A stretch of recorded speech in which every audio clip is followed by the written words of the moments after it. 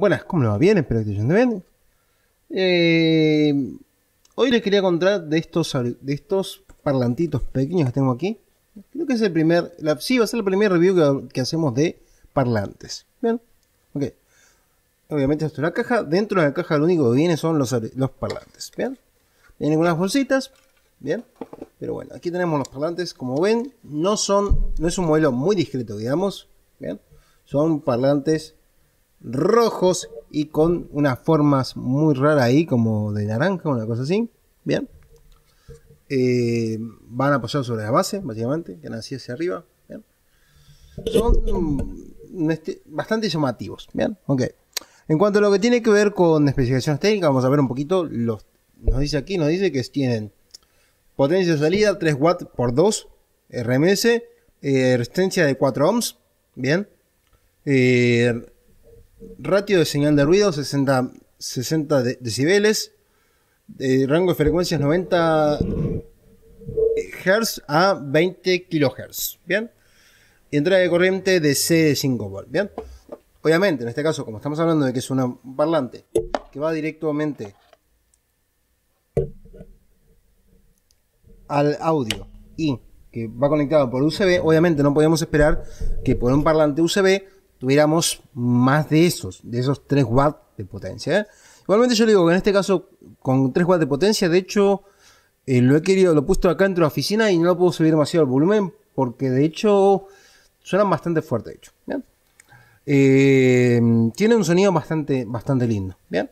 En general tiene obviamente el, por el rango de frecuencia que vimos que tiene, la presencia de graves no es muy marcada, bien no tiene muchos graves, el sonido medio y el sonido agudo es bastante lindo, suena bastante bien. Em, aunque tiene una tendencia más hacia los agudos, ¿bien? O sea, tiene una tendencia a un sonido brillante, ¿bien? Sonido brillante me refiero a que tiene mayormente presencia de agudos, ¿bien? Y eso es lo que da ese brillo, a lo que yo me refiero con brillo, eso es agudos más marcados, ¿bien? En cuanto a lo que tiene que ver con la construcción, es totalmente plástico, o sea, es, totalmente dentro de plástico. El costo particularmente es de 250 pesos, ¿bien? Lo mismo que de hecho, lo mismo que salen los auriculares, ¿bien?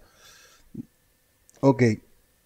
Em, en cuanto a lo que tiene que ver con radio frecuencia, digo, el detalle que tienes ese es que eh, utilizan, en este caso es un, es un, integrado, ¿bien? O sea, es un amplificador, está hecho más un integrado y los integrados, por lo general, en este, en este, este rango de, potencia, son integrados que tienen, tienen, tienden a recortarte los graves. ¿Bien? Por eso es que por lo general, en, equipos de audio que tengan un sonido mucho mejor, por lo general nosotros nos vamos a encontrar con eh, parlantes de tres vías. ¿Bien? Con un Twitter, que es el que va a los, rangos, los agudos, con un parlante medio y con un parlante buffer. ¿Bien? O podemos encontrarlo en este caso en vez por un parlante de tres vías, podemos encontrar con parlantes con equipos 2.1. Bien, los equipos 2.1 tienen un refuerzo de graves, que es el buffer, si vamos acaso ese punto 1, ese le crearía más o menos el rango de frecuencia entre los 100 y los 20 Hz, más o menos. Entre 20 Hz y 100 Hz, ahí tendríamos el subwoofer. Bien, y eso es lo que nos particularmente lo que nos da el rango completo de sonido. Bien, o sea, un parlante 2.1 nos da un sí, un parlante 2.1 o un parlante de 3 vías, que si llegamos a caso sería lo mismo, nos da un rango de frecuencias completo. ¿Bien? Cuando nosotros tenemos o dos parlantes o uno solo, siempre tenemos un rango corto. ¿Bien? En este caso, este tipo de parlantes, este parlante que tiene aquí, es un parlante medio. ¿Bien? Es un parlante de medios. Entonces, tiene el rango, puede dar agudos, sí, pero no es su especialidad. Puede dar graves, sí, pero no es su especialidad. De hecho, nos puede dar graves hasta 90 Hz.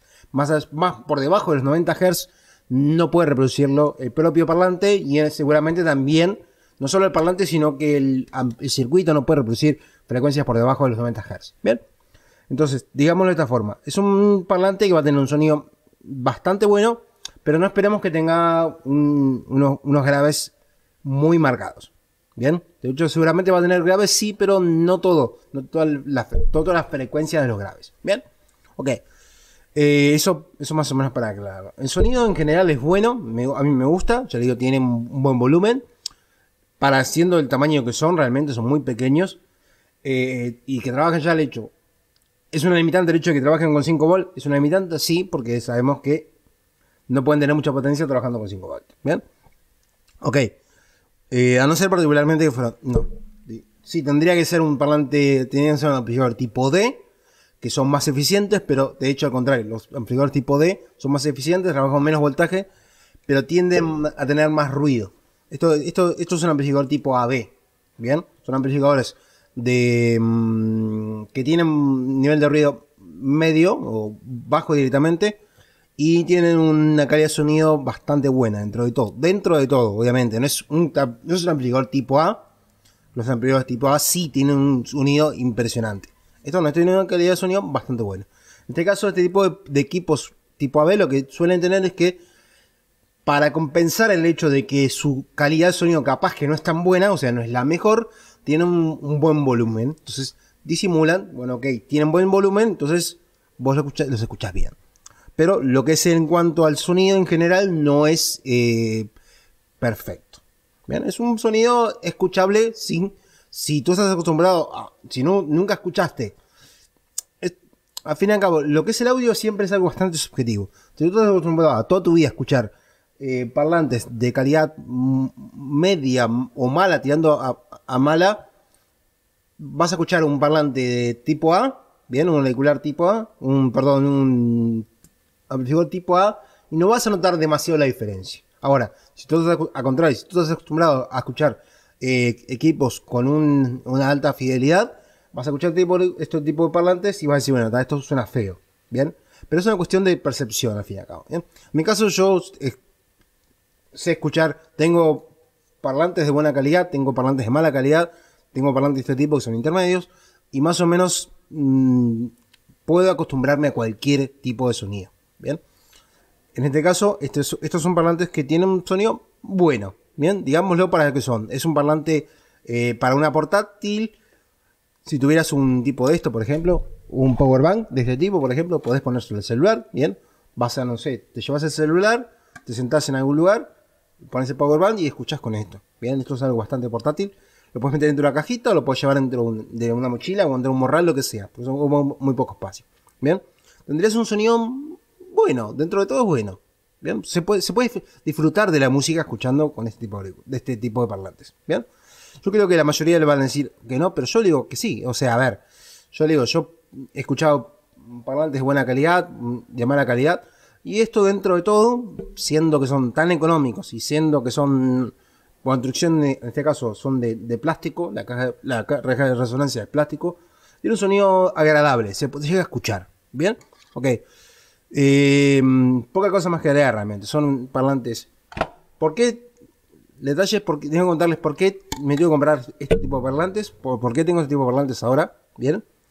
Y es que particularmente es que yo tengo que edito con, por lo general, edito con auriculares o edito con unos parlantes que yo tengo que son de buena calidad, que son los em, unas cajas acústicas de, perdón, unos, sí, unos, unos parlantes em, de marca Genius que tienen muy buen sonido. Pero el detalle que tienen es que son equipos que tienen un, amplificador adentro. Entonces, yo nunca tengo la percepción de realmente si el volumen está bien o si la, calidad del sonido está buena.